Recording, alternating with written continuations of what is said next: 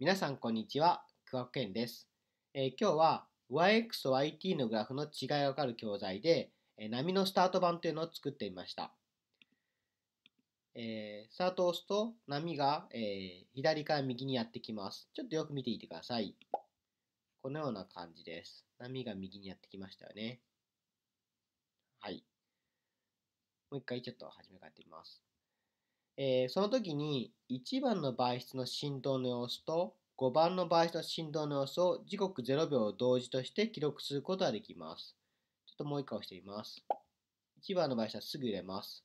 5番は少し時間経つとこう入れますよね。はい、このような感じです。えー、2つの YT グラフを見ると、えー、まず形が違うということに気づきますし、えー、また、えー、5番の、えー、グラフは1番波がえ、少し時間遅れてやってきますので、えー、初めは動かないで、ボンと動き始めるということです。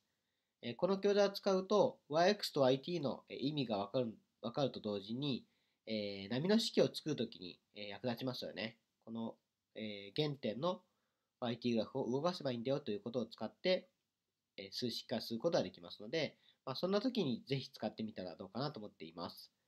え、もしよかったらお試しください。以上です。